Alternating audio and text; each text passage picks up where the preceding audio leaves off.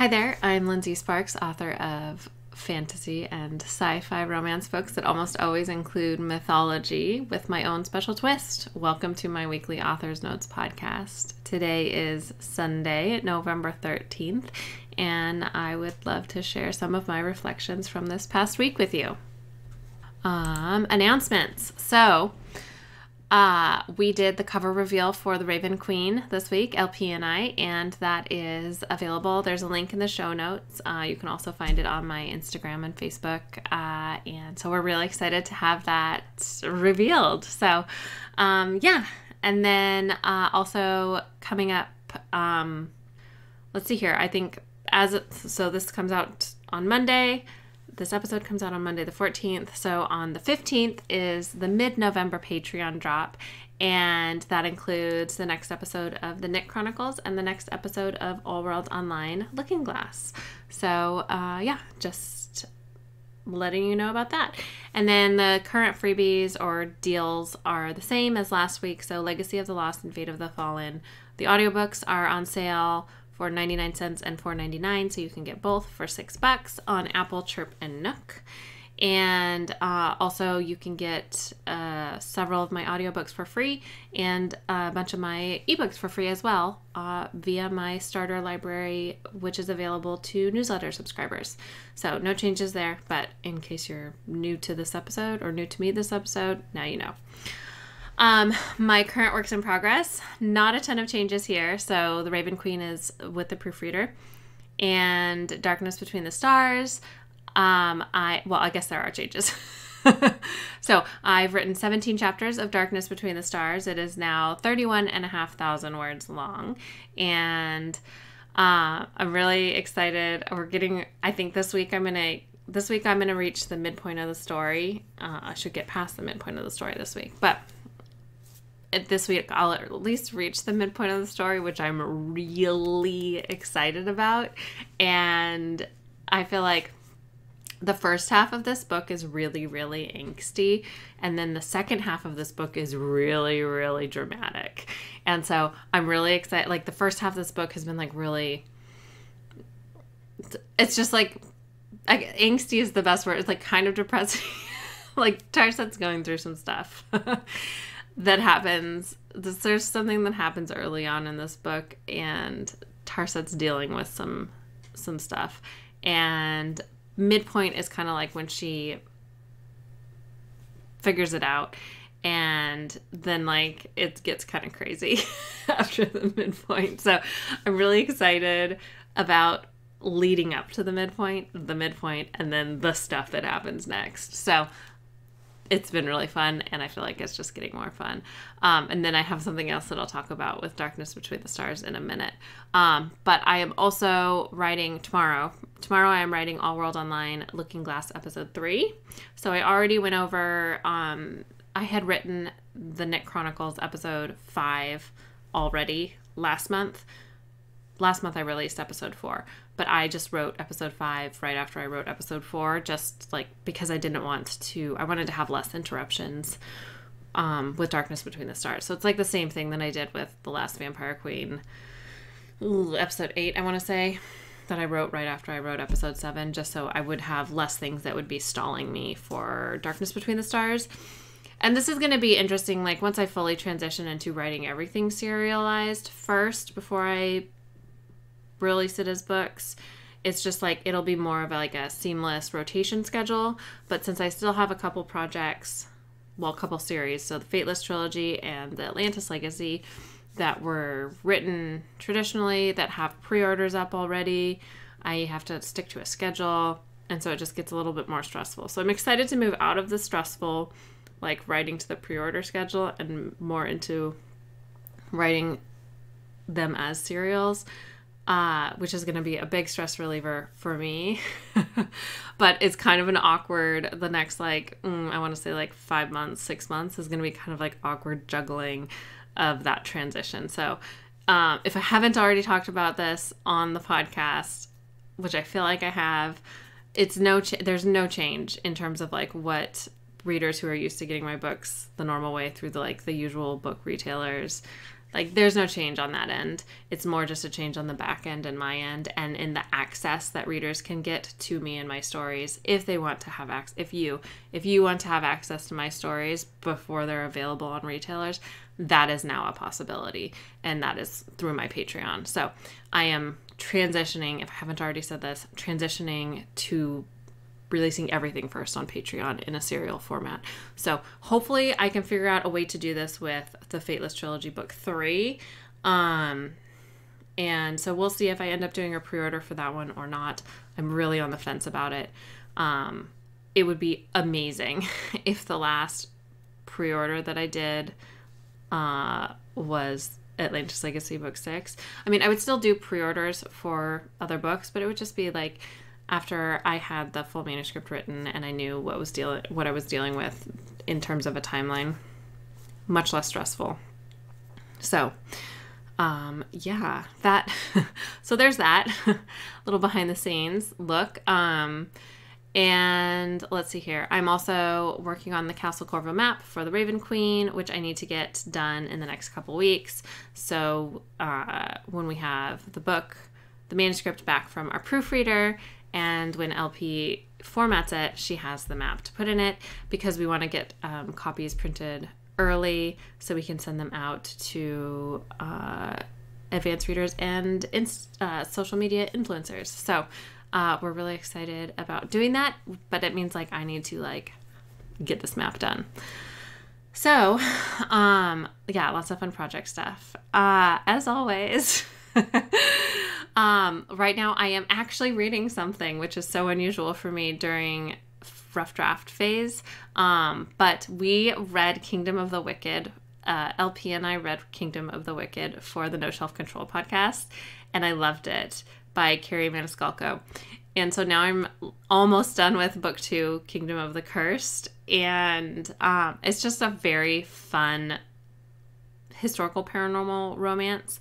Uh, the thing I th- one of the things I think I really love about this is that it there's no it's demons uh, and witches, uh, so there's no elves, which is refreshing because I feel like everything out there that's popular right now is elves, um, or not elves. Sorry, fae. There's no fae. There's no fae. Like how does that? It's amazing. um, so that's been very exciting. Uh, and then I also just finished reading, beta reading uh, Land of Fury for LP, uh, Lindsey Pogue. It's the third book in her Ruined Lands series, and I loved it. I think it was my favorite one in the whole series. So, uh, definitely when that one comes out, I'm going to be recommending that to my readers because I know that you guys are going to love it. So, what am I watching? Uh, I am. We are watching right now Peripheral still uh, as it releases. I love that show. I'm obsessed with it. and then we just started last night, and I think we might have watched like five episodes, but they're short episodes because it's just a comedy. Um, we're watching Mythic Quest. and it's so great and funny. but it's about a video game company. and it's awesome. I love it. I recommend that. Um, okay, my high this week was oh, I was really excited about this. This was like a total shower light bulb moment, um, like a muse strike. Uh, I was in the shower and I figured out the I had been uncertain. I I knew one secondary POV I wanted to do for Darkness Between the Stars. This is like my series that has the Echo World books tend to have another perspective in them. So there's like the main perspective. So in the first in the Echo trilogy, it was Lex, but then there was also Kat in books two and three was a, a very important secondary POV, especially in book three. Uh, and then in Kat series, it was almost entirely Kat, but there were a couple of there was another there was like a Lex chapter. Um, there were a couple other POVs in there, uh, and then in Tarset series, I've had a little bit of Lex and Kat. There was that one Nik chapter in Song of Scarabs and Fallen Stars. So in um, book two, Darkness Between the Stars, I knew one POV that I wanted to have, and that is to transition into the fourth series, which I'm, which I'm not unveiling yet. Um, although I feel like I have mentioned it somewhere, probably in a Facebook Live, I think. But um, so the, there's the POV that's preparing for the fourth series, which I'm really excited about. and then there's another POV that I feel like fits with the previous series. So, um, and neither of those POVs are Kat or Lex. I'll just say that. So I don't want to announce it quite yet because it could always change, but I feel like my shower light bulb moment was like very clear and really helped me to like tie a bunch of stuff together in terms of telling what needs to be or showing what needs to be shown uh, in the present day timeline to help us all understand the Tarset's ancient times timeline. So I was really excited about that. um, my obsession this week or last week uh, was definitely like Tarset and Atum and their extremely tortured love story in the first half of Darkness Between the Stars. It's great. It's like really so angsty. Um, yeah, it's really really fun, but like depressing fun. But in the, it's depressing fun in the way I don't even know if that makes any sense, but it's in the sense that like you know it's going to turn around. So, I think that's why it's like the you know it's going to get darker before it gets lighter or whatever it is that they say in the Wizard of Oz. Um Okay, I do have a fun research link to share with you. The link is in the show notes. It's about scurvy. this this book is getting really piratey. just so you know. It's like, it, I mean, okay. So I they feel like we got a teeny tiny hint of this at the end of Song of Scarabs and Fallen Stars, but Atum is not tied to any time period within his like bookended um, timeline. He has access to everything within like extra ancient time to like right up until uh, well to the nothingness uh, in the Echo trilogy. Like, and that's the end of his reach of the timeline, which is why Tarset can't get home because he can't. His timeline doesn't extend beyond then. So he, for this like seafaring portion of the book. So now you know there's a seafaring portion of the book. Um, yeah, it's just got it's just gone full pirate. They're on like an odd ship, and it his his clothing, Atum's clothing, is fully inspired by uh, black sails. Um, it's it's amazing. Uh, but it's also really fun because he's pulled in like he's brought like modern stuff for Tarset. Like she has an MP3 player that he brought with like a solar charger. so it's really fun to play around with his access to other time periods. Um, and I've been able to pull in some other historical figures that have been really fun. So I'm excited about. God, there's just something so fun about time travel. Like not being, it's it's like you get the historical element. Um, like Song of Scarabs and Fallen Stars was fully historical fantasy essentially, because Tarset wasn't moving around in time other than that first jump. But in this one. this one's gonna get a little bit crazy but in like a really fun way. um, yeah. So anyway, this research uh, article or research link that I have in here is an article on scurvy, and it was so interesting, super interesting. So if you have any curiosity about scurvy and that whole like seafaring issue, definitely give it a read. I just, yeah, it was really interesting. Um, okay, so my how did I do with my goals last week? Well, uh, last week my big goals were to write five chapters of Darkness Between the Stars. Uh, I think I wrote six chapters. Um, so that worked out really well. Uh, I wanted to do the Atlantis Legacy cover reveals. I think I did four of them. I still have two more that I need to do this week. Uh, and I had to stop because it was time to do the Raven Queen cover reveal, which we did on Friday. So uh, I did everything except for two of the Atlantis Legacy cover reveals. So that's a pretty good one for me. And then this week, I want to write five or more chapters of Darkness Between the Stars. We'll see if I do that because I won't be writing anything for Darkness Between the Stars on Monday. I'll only have Tuesday through Friday. uh, because on Monday I need to write Allworld Online Looking Glass episode three. Hopefully, I can get that all done in one day.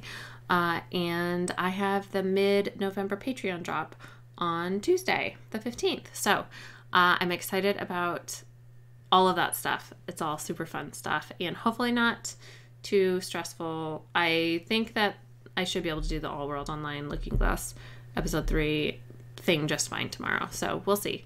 Um, yeah, so what am I looking forward to? The Patreon drop. I feel like I'm always looking forward to the Patreon drop because that, that stuff is so fun, which is why I am so excited as I move towards everything being serialized first on Patreon and then coming out on the retailers. So, um, but yeah, so like I said, it's the Nik Chronicles episode five and Allworld Online Looking Glass episode three, uh, which are so fun. Episode five I feel like Nik Chronicles episode five. I just read through it this morning and made sure everything polished it up.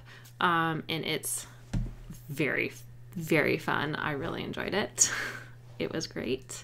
Um, it, yeah, there's some fun stuff with Kat and Nik in this one. And as always, Nik's perspective reveals a lot more than, like, he's very he's not like still waters run deep because he's not still waters but he is extremely there's a lot going on beneath his like surface that he uses to distract people from what's actually going on within him. So he is i still think he's the most interesting character i've ever created. So i love writing his perspective because i learn so much about him and so much more about the story. And I feel like the story has become so much deeper just from writing his perspective for this. So that is it for me this week. I will be back next week to ramble some more. And until then, happy reading.